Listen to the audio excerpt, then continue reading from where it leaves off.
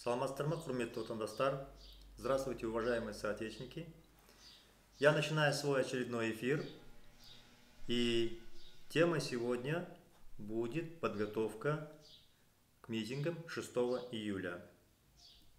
Я, прежде чем обсуждать технические детали предстоящего митинга, хотел бы напомнить, что мы 23 июня не смогли провести митинг по всей стране, потому что власть препятствовала.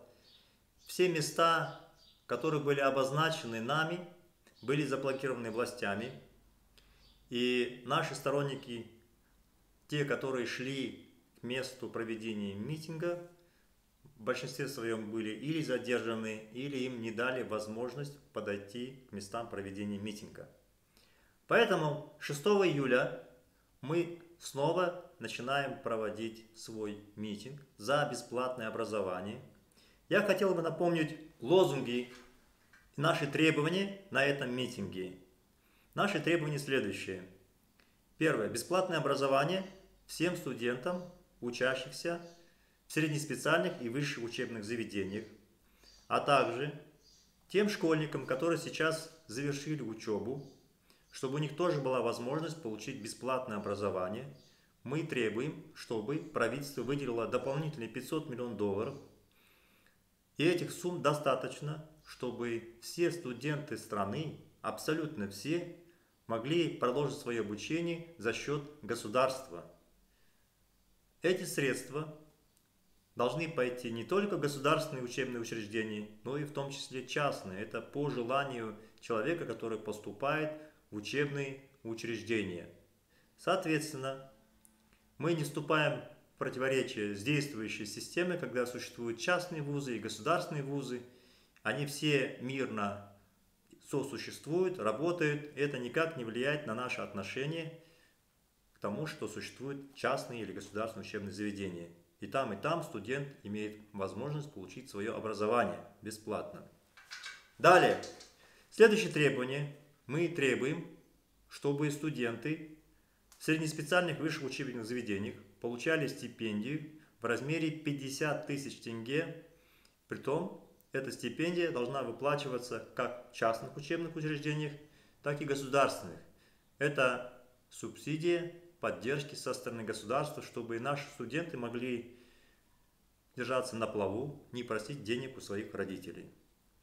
Третье требование – мы требуем, чтобы иногородние студенты получили субсидию в размере 30 тысяч тенге на аренду жилья в период обучения.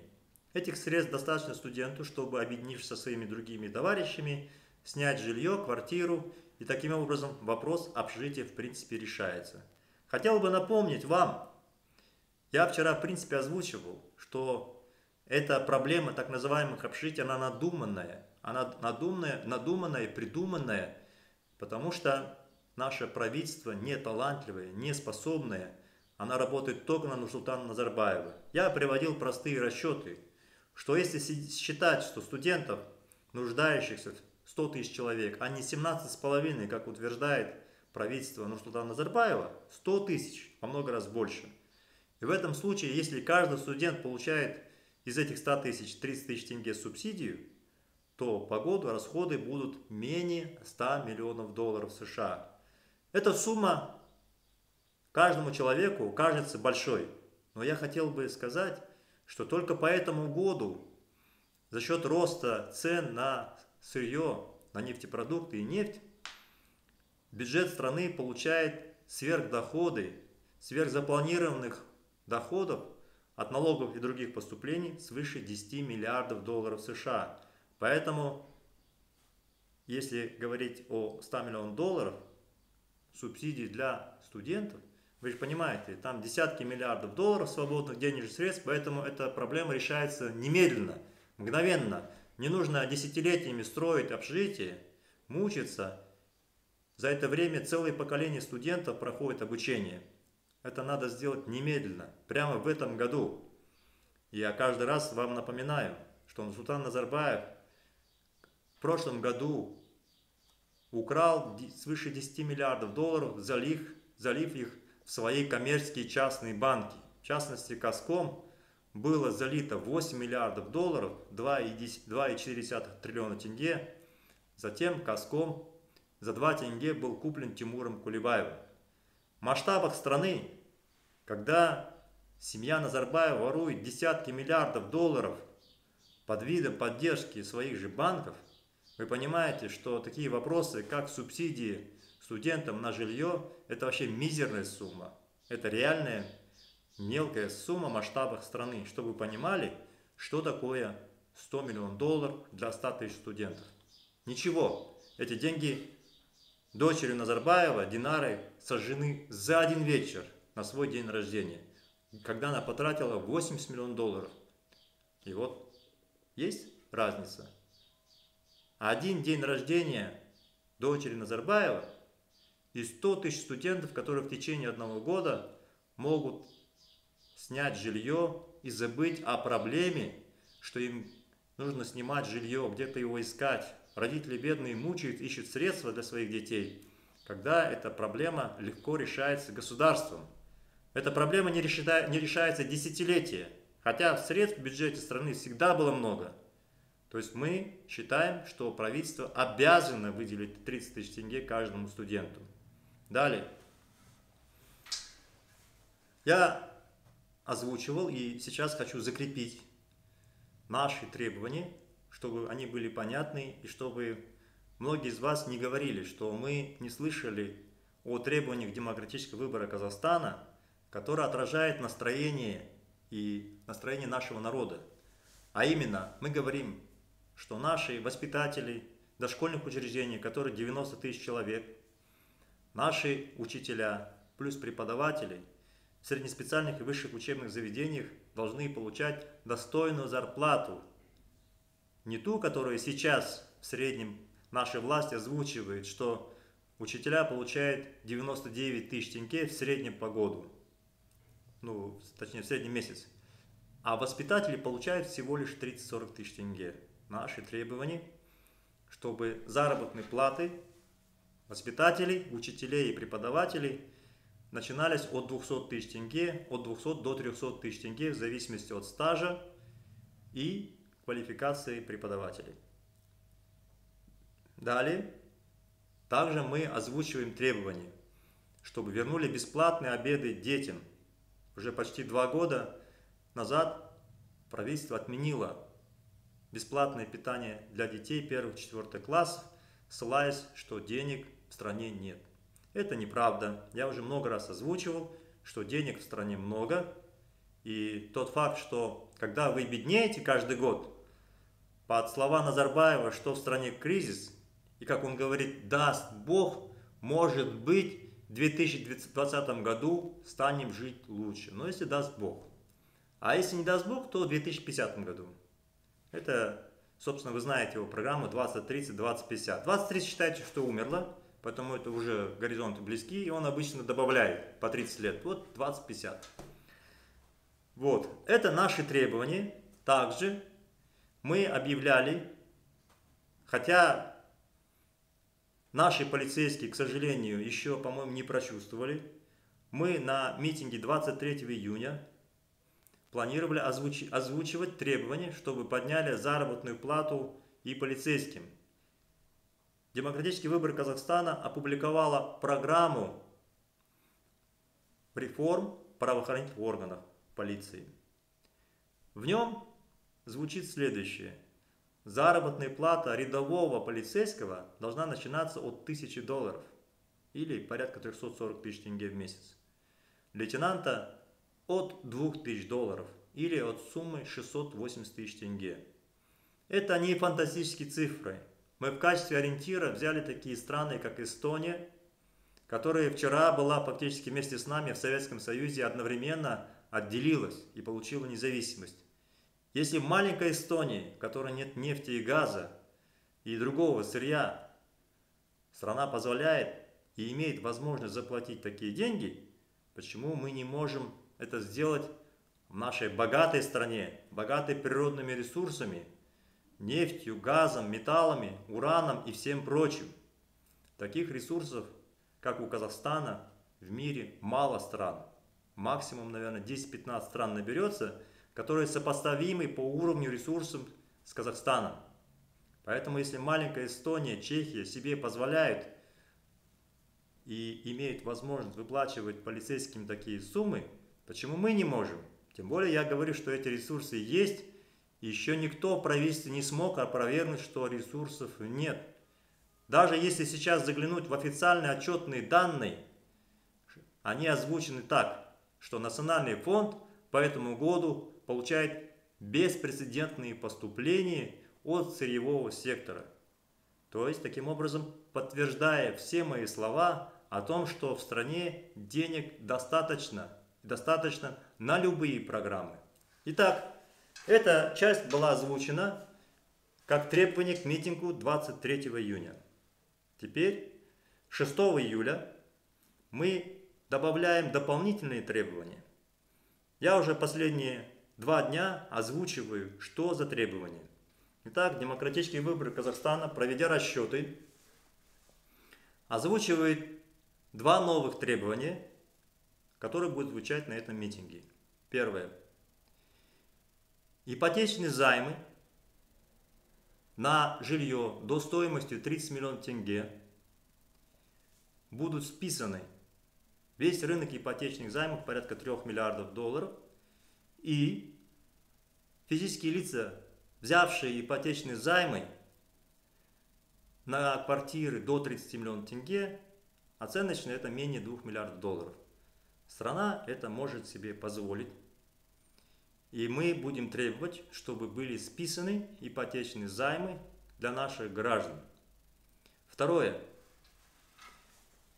Мы будем требовать, чтобы правительство списало потребительские кредиты. Теперь я хочу объяснить еще раз, почему мы будем требовать. Кто-то говорит, что это популизм, коммунизм, вспоминает разные слова, говорят о социальной несправедливости – а если вот кто-то не взял кредит, как же так? Он, получается, а, не получает помощь от правительства. Я вчера по этому поводу говорил и хочу сейчас повторить.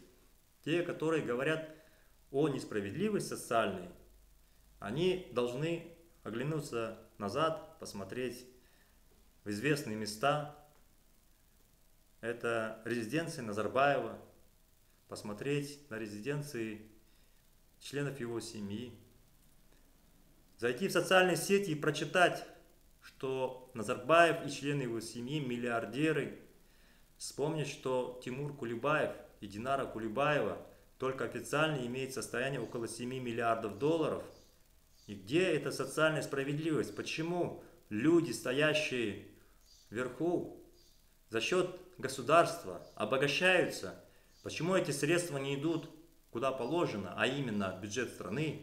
Почему обогащается политическая верхушка и почему те, кто говорят, что это несправедливо, когда мы списываем такие кредиты, почему они не говорят о несправедливости, несправедливости политической верхушки, которые грабят народ, а вы молчите.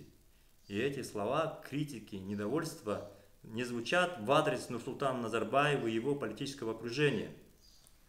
Я вчера озвучивал, что мы шаг за шагом будем восстанавливать именно ту самую справедливость, которую вызывают наши критики. Размер ипотечных займов около 30 миллионов тенге на жилье будет составлять всего лишь около 2 миллиардов долларов.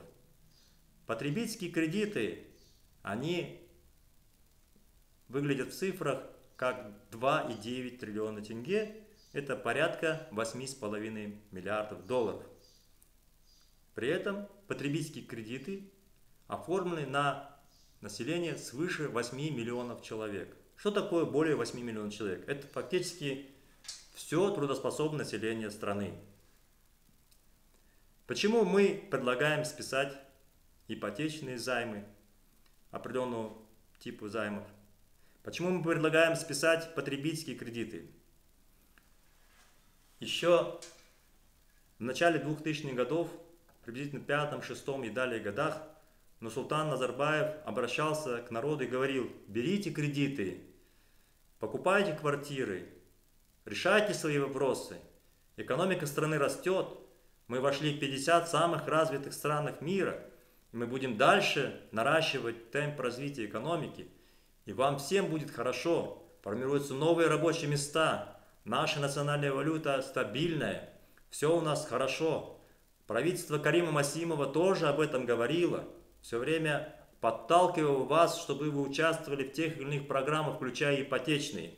Они лгали, они лгали, что наша экономика процветает, они вводили заблуждение всех – они владели, вводили заблуждение банки, банкиров. Они вводили заблуждение народ. Они два раза девальвировали национальную валюту, и при этом каждый раз, когда люди спрашивали, будет девальвация, но султан Назарбаев заявлял, нет, не будет девальвации. Карим Масимов, будущий премьер-министром, дважды каждый раз заявлял, не будет девальвации. Председатель Национального банка Кайрат Келимбетов – говорил, не будет девальвации. И когда девальвация произошла, он сделал вид дурачка и сказал, да я сам утром об этом узнал. То есть наши высшие должностные лица обманывали свой народ, девальвировали национальную валюту. Это все привело к тому, что экономика начала падать, бизнес начал сокращать рабочие места, и все те, кто брал вчера ипотечные займы, брал потребительские кредиты, полностью уверены, что завтра у него будет хорошее будущее, они были подставлены, подставлены нашей политической верхушкой, они были обмануты.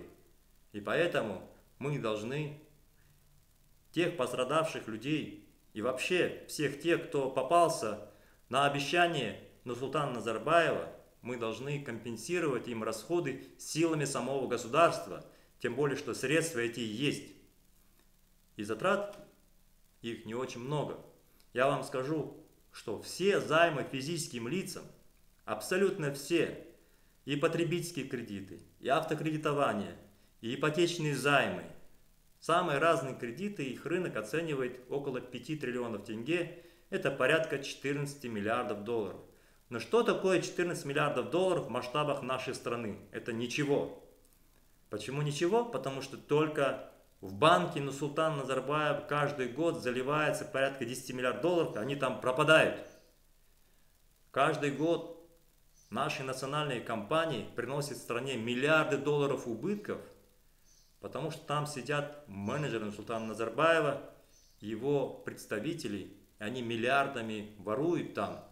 Как, например, Тимур Кулебаев в румынский проект купил нефтеперерабатывающие заводы 40-х годов – 40-х годов, у нас в Казахстане 70-х и 80-х годов, более современный, и он купил в Румынии, потратив на это свыше 2 миллиардов долларов, затем инвестировав большие средства, на это ушло около 5 миллиардов долларов с государственной компании. И фактически эти деньги списаны на убыток, потому что потратив такие деньги, около 5 миллиардов долларов, Тимур Кулибаев – не может выручить даже за них и 10%. Понимаете, да?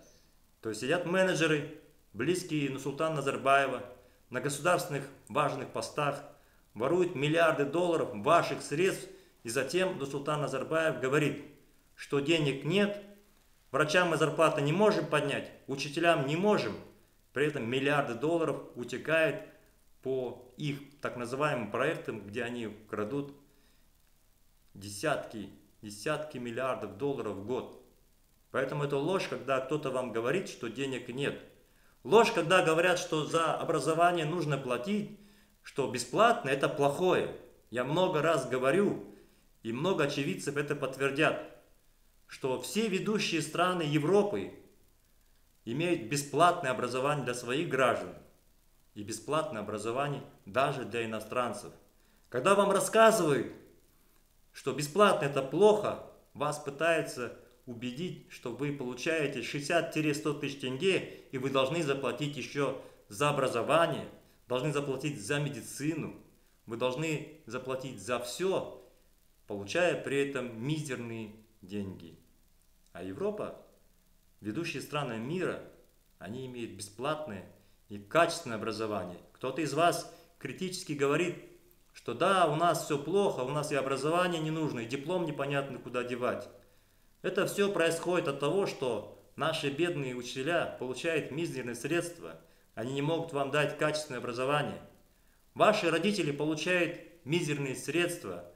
Они не могут вам обеспечить достойное будущее, когда вы проходите курс обучения и вы вынуждены подрабатывать, искать работу, вместо того, чтобы получать нормальное обучение, вы ищете средства для проживания и пропитания. И мы должны это прекратить. И у страны есть такие возможности, есть даже сейчас при коррумпированном режиме Нусултана Назарбаева. Когда демократический выбор Казахстана придет к власти, бюджет страны в течение двух лет как минимум удвоится. Сейчас размер республиканского бюджета порядка 30 миллиардов долларов. И я показывал много раз, как мы за 1-2 года удвоим размер бюджета. Тем более, что это уже было. В 2014 году республиканский бюджет был порядка 50 миллиардов долларов. Сейчас с трудом набежали, добрали до 30 миллиардов долларов. То есть уже это было. Это было, и деньги были бездарно потрачены. Поэтому, когда говорят, что денег нет, когда говорят, что должно быть платным образование, когда говорят, что в принципе мы не знаем, откуда взять средства, имейте в виду и знайте, они лгут, денег в стране много.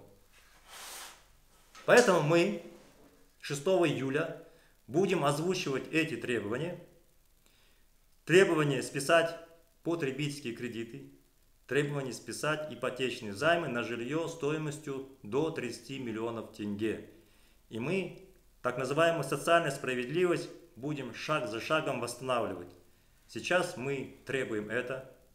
Через какое-то время мы будем требовать, чтобы восстановили государственную медицинскую, медицинские услуги, чтобы она была бесплатной. И это у нас так было. Частные пусть существуют. Это будет следующее требование. Для реализации наших требований, еще раз хочу сказать, средств много. Более того, их достаточно на все социальные проекты. Но сегодня, завтра, 6 июля, мы будем требовать, и эти требования у нас обоснованы. И нет в нем никакого популизма. Популизм тогда, когда это невозможно реализовать. Популизм тогда, когда Наверное, в этом есть элемент несправедливости. Здесь есть прямая справедливость, и все будущие средства, которые мы будем получать бюджет страны, как за счет эффективного развития экономики, так и за счет конфискации активов Нурсултана Назарбаева и приближенных, как я вам говорил, что только у Нурсултана Назарбаева активов минимум на 200 миллиардов долларов, не считая членов его семьи и его ближайшего окружения – Поэтому в средств в стране для развития, для решения социальных проектов достаточно, и еще раз запомните, средств у нас много и с избытком. Поэтому вот круг требований, которые мы будем озвучивать 6 июля.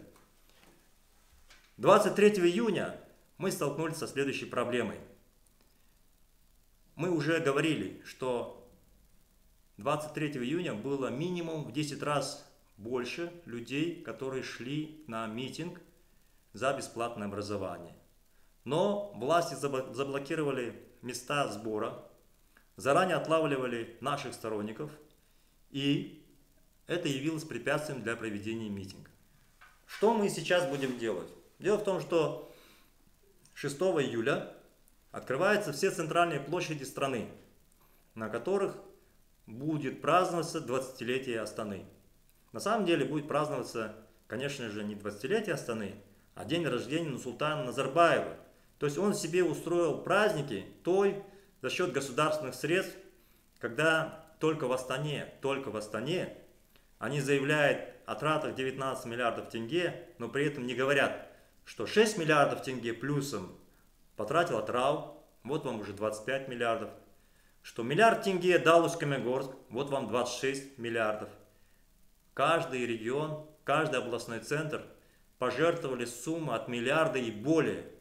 С учетом того, что у нас областных центров было 14 и два центральных города, но представляете, что сумма реально потраченная на этот день рождения Нусултана Назарбаева превышает сумму 40 миллиардов тенге. Во много раз больше, чем 19 миллиардов, то есть более 40 миллиардов тенге.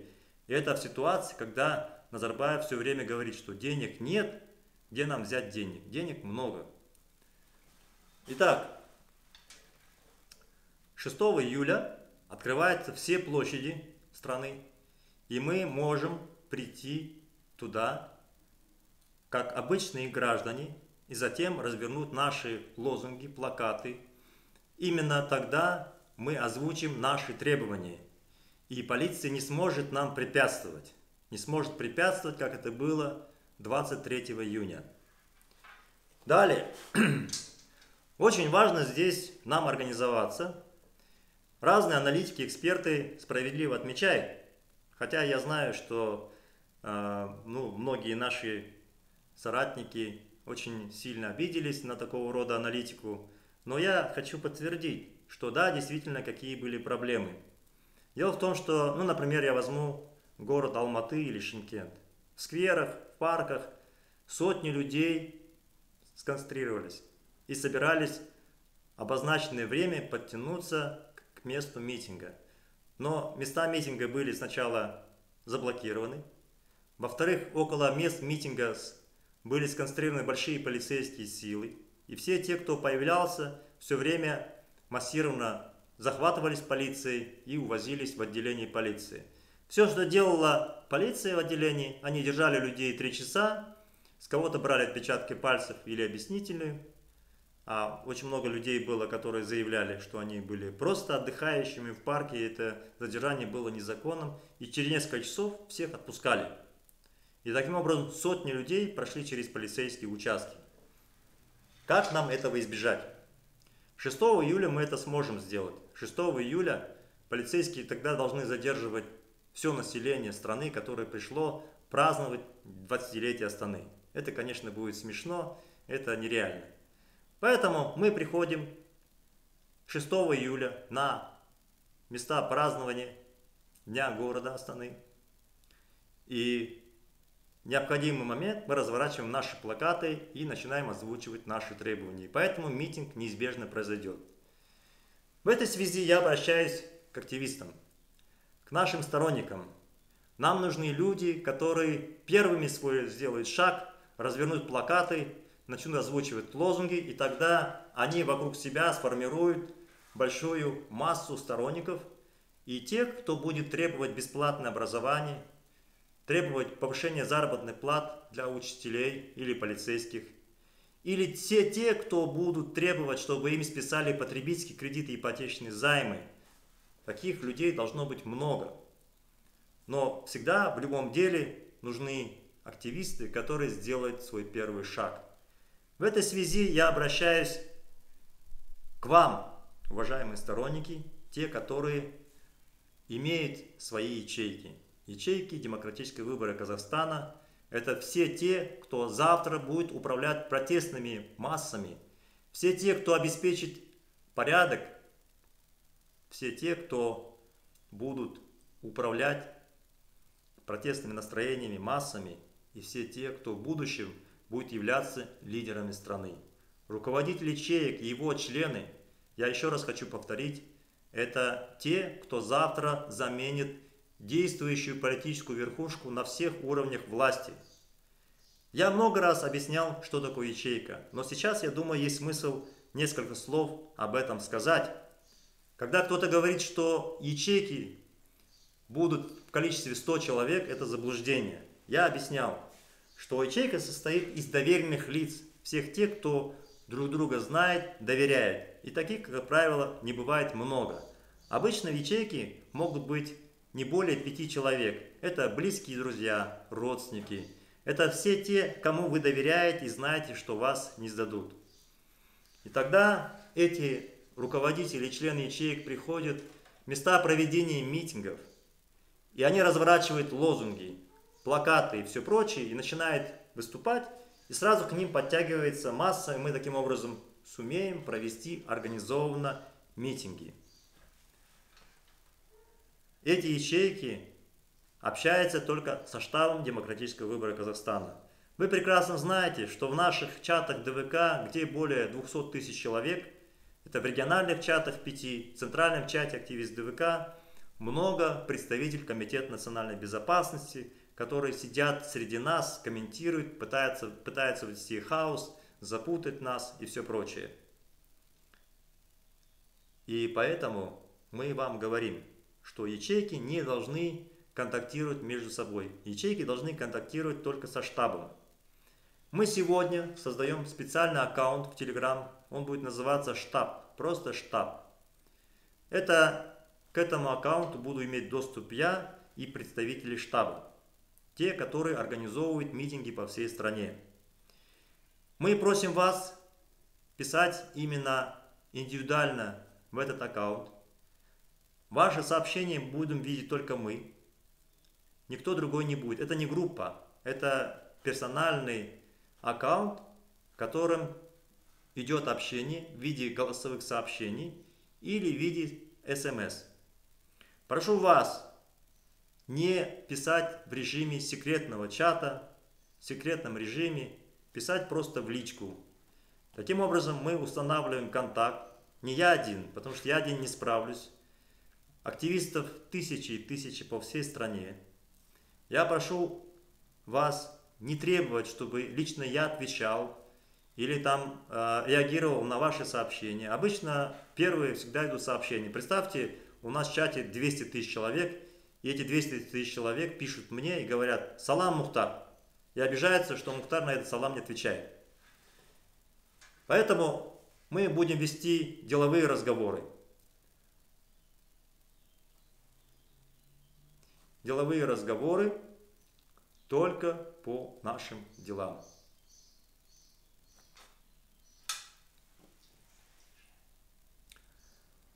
По нашим делам, связаны с деятельностью демократических выборов Казахстана. Сегодня вы увидите, сегодня вы увидите в чате ДВК аккаунт штаб. И через этот аккаунт мы будем с вами переписываться. И активисты и члены этих ячеек, общаясь только с нами, получат информацию, как действовать по всей стране.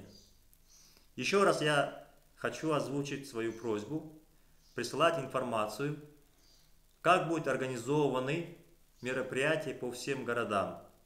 И мы постараемся в кратчайшие сроки обозначить место, где мы проводить будем акцию, и время. Итак, я сейчас завершаю свой эфир. Я знаю, что у вас сейчас э, технические проблемы, что нас регулярно включает, выключает и так далее. Но я буду ежедневно это озвучивать, ежедневно говорить о наших планах. Еще раз, сегодня в чате ДВК в 21 часов я более подробно расскажу о ячейках. Это же будет сразу звучать в YouTube, на Фейсбуке, по всем социальным сетям. Просто сейчас я все это озвучиваю на видео. До встречи сегодня в 21 часов по Астане. В чате активист ДВК. Сау До встречи, до вечера.